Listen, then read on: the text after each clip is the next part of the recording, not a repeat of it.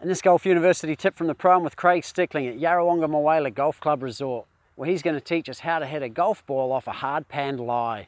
But before we start, remember to subscribe and hit the bell icon below so that I can notify you every time a new episode is released. Plus, at the end of this video, I'm going to teach you how to lose four shots or more from your handicap in three months or less. But before I do, let's find out how to hit a golf ball off a hard panned lie. This tip from the pro brought to you by Golf University, the world's premier golf improvement program. The hard pan lie. So when you're faced with a ball that's on a hard pan, don't be too afraid. It's not that bad at all. The only thing with the hard pan lie is we want to make sure we catch the ball first.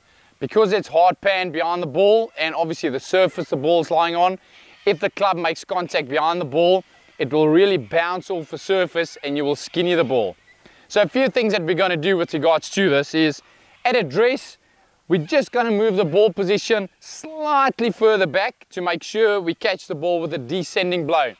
As soon as it's too far in the front, we'll have the risk of skinny the ball that's going to bounce over the hard pan line. So instead of a normal stance with ball position, we're just going to move it to the middle of our stance to make sure we can catch the ball first.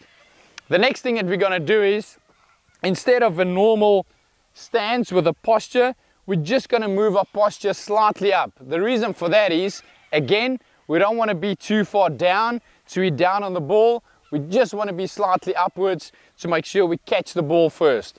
So in essence, ball position will move a bit back.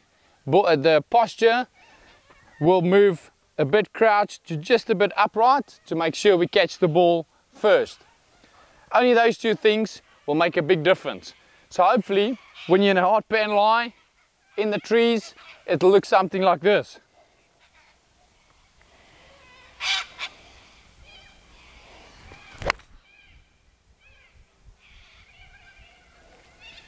Perfect, straight down the fairway in play. Hopefully that helps. Well, there it is. I hope you enjoyed this Golf University tip from the pro. Remember to ask a question in the comments below if you need even more help. And feel free to share this video with your golfing friends. As promised earlier, I want to help you easily and effortlessly lower your handicap by four shots or more. So I want to invite you to join our Search for Scratch program, which has been designed to help you find out how good a golfer you can become if you are trained with the best coaching model, practice plan and course management system, all whilst developing a champion golfer's mindset. For more information and to become another one of our success stories, visit searchforscratch.tv forward slash search for scratch program or click the link in the description below. Thanks for watching, commenting and sharing this video guys. I look forward to supporting your golf improvement in the Search for Scratch program.